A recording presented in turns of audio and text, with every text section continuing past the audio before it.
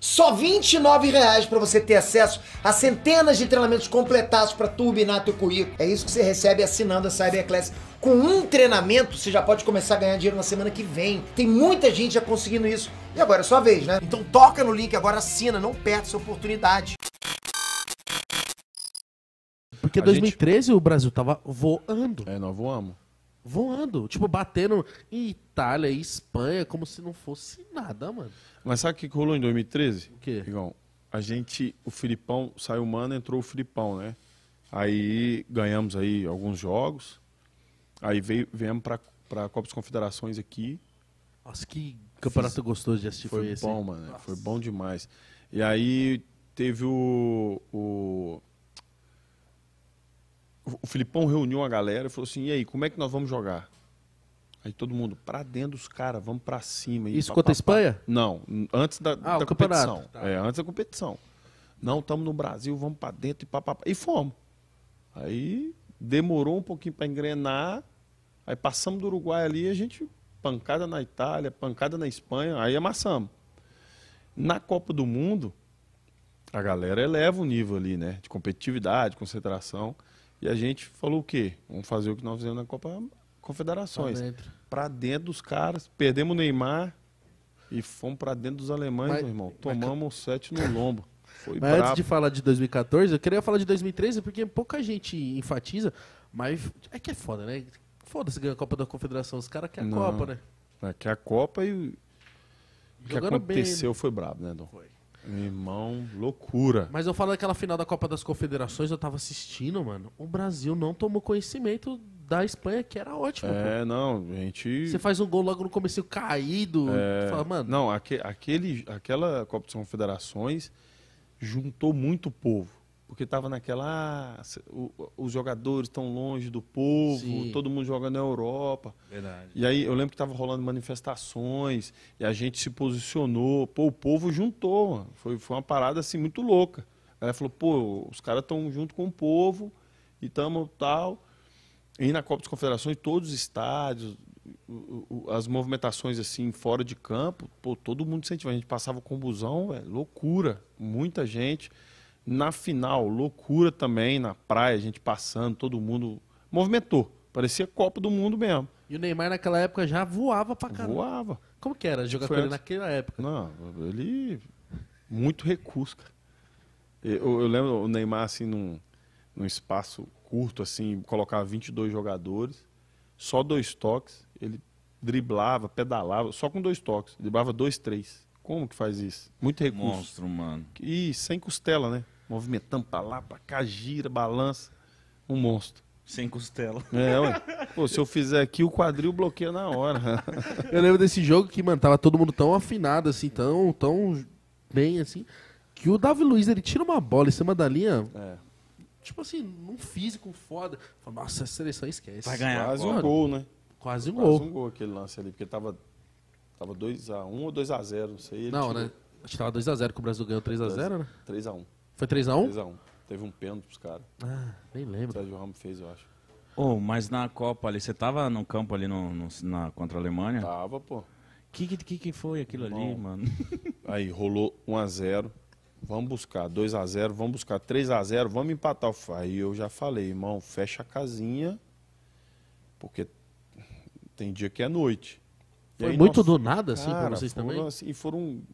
Nós tomamos gol assim de, de pelada, né, velho? Gol de tocar do lado, né? Ou tocar do lado, de escanteio, o cara chutou com o pé, a gente não produziu.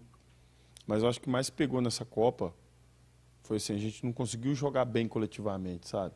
Não encaixou o time? Coletivamente não tava assim, um procurando o outro, tava mais individual.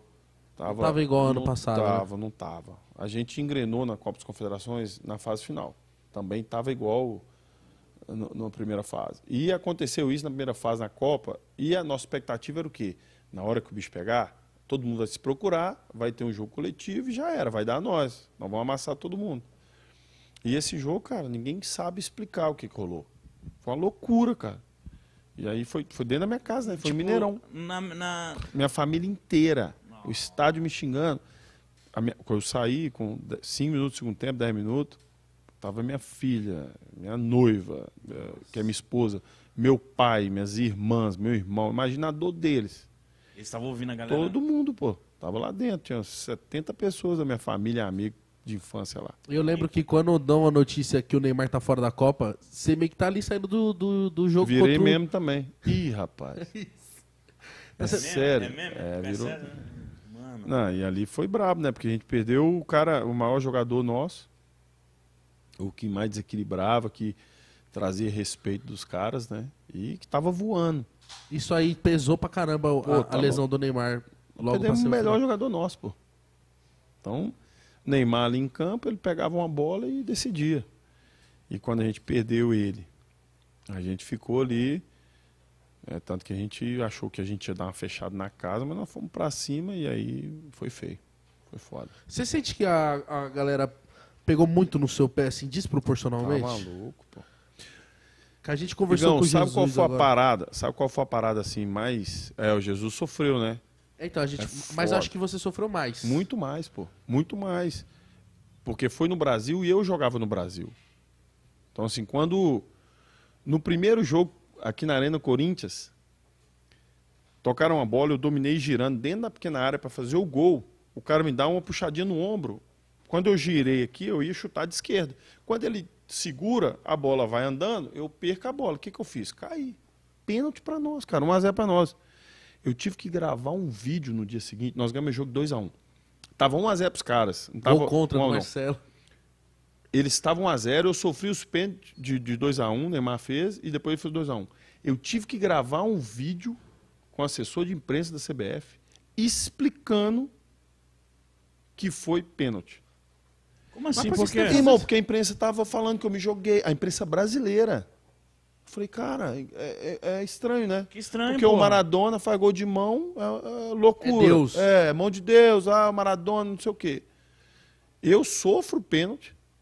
Eles estão lá falando que, pô, não foi pênalti, que o Fred, não sei o quê. Cara, eu te fazia um vídeo na Granja Comari explicando. Pô, o pessoal realmente teve o contato, que foi pênalti. Ali eu já senti que tinha uma parada estranha, irmão.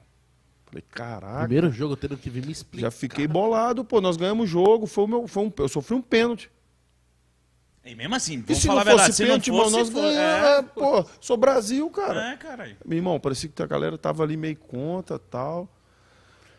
E aí depois rolou tudo isso. Eu não consegui jogar bem. Tá difícil aí. Eu fiz um, um gol só na Copa.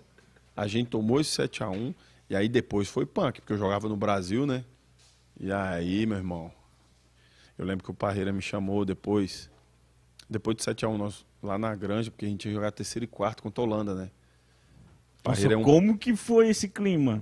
pra jogar contra a Holanda. né? Aí o, o Parreira acabou o jantar, eu andando assim nos corredores sozinho, irmão. Queria entrar num buraco e sumir, irmão. Aí o Parreira tava de butuco e falou assim, ei garoto. Eu olhei assim, ele me chamou, vem aqui. Falou, cara, no Brasil você não joga mais. Vamos arrumar uma coisa pra você sair e tal. Ele preocupado comigo, entendeu? Nossa, tava ele, foda. ah, tá entendendo não, pô. Tá entendendo. Aí virou cone, cone, cone, cone, cone, irmão. Aí o que que eu fiz?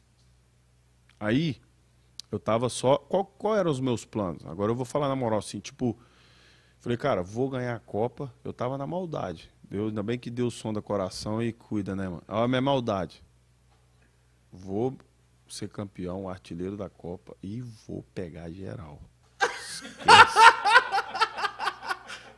Mas eu não, se não for famoso, eu não vou pegar, irmão. Achando que ia vir uma coisa de superação. Irmão, meu objetivo era o Caralho, quê? como eu queria que você tivesse ganhado essa Copa, mano. Ainda mais agora. Falei, irmão, expectativa era o quê? Era essa. Só famosa e você. é, Tá maluco? Nojento. Aí tomei 7x1 no lombo, fiz um golzinho só, cone, ninguém olhando na minha cara, a imprensa quase me matando. Nossa.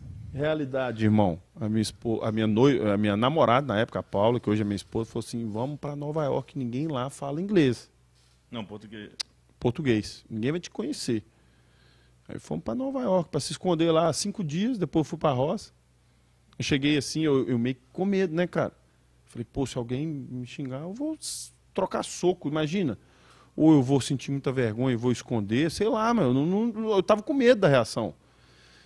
E aí, eu chegando assim no hotel, assim, a gente andando. O primeiro rolê que nós fomos dar pra jantar, tinha um, um cone assim na, na porta do hotel pro carro parar, tá ligado?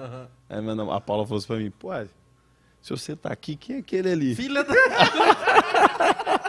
Aí já quebrou o gelo, já, eu, pô, deu, deu uma- já brincamos. Aí tal. você achou o caminho também pra ficar melhor. Aí ela me, começou a me zoar, tal. Pô, então minha expectativa era essa, minha realidade. Casei, dois filhos, tô aí, com oito anos juntos já. Que da hora. É, e ela foi minha guerreirona, assim, e tal. E depois me converti, aí depois eu fui pra roça, aí voltei, mano. Quando eu voltei, em 2014, todo mundo falando, pô, não vai jogar, não vai jogar, não vai jogar. E aí eu voltei pro Fluminense, os caras fizeram uma volta bacana pra mim, assim. E quando eu cheguei no vestiário, os caras colocaram um bonequinho, tipo, de um cone com uma peruca, cabelão assim, black. Ah, E aí eu fiquei meio puto, eu senti raiva dos caras, assim, fiquei meio bolado. Isso foi coisa dos sobs. Os caras, o moleque era. Você ficou puto, ficou puto. Fiquei bolado. Fiquei muito bolado, assim. Fiquei, pô. E aí eu joguei com raiva, assim, da imprensa, joguei com raiva do, do, do, do povo, assim, joguei bolado mesmo. Você queria dar resposta. Não, fiquei, fiquei bolado, irmão. Queria. eu- eu- o meu combustível foi raiva. E aí eu voltei, eu tinha dois gols no campeonato e o artilheiro tinha 13. Acho que era o Gabigol ou o Ricardo Oliveira, não sei quem era. Acho que devia ser o Ricardo Oliveira. É, não era? E aí. Os dois estavam lá, um, um a- mais que o outro só. E eu com dois.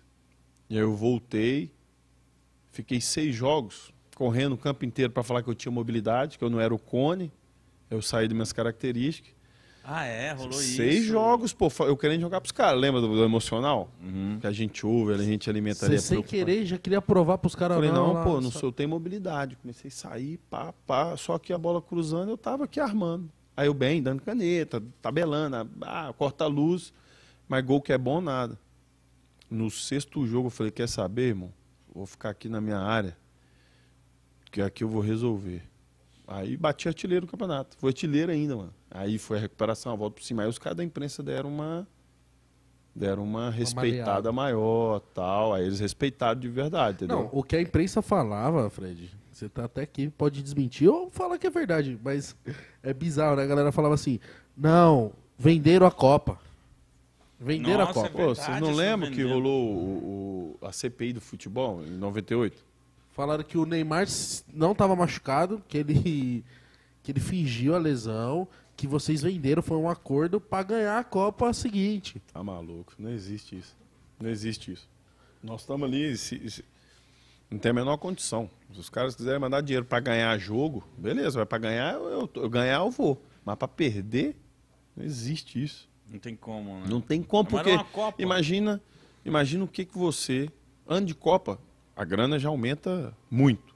Imagina você campeão, você vai ficar colhendo aquele fruto o resto da sua vida, cara. O Vampeta, Vampeta. Denilson, os caras estão tudo aí, fi. Que o Vampeta zoou, que é bom ele ser o último campeão que ainda Fica secando, né? fica rendendo ele também nos programas e etc.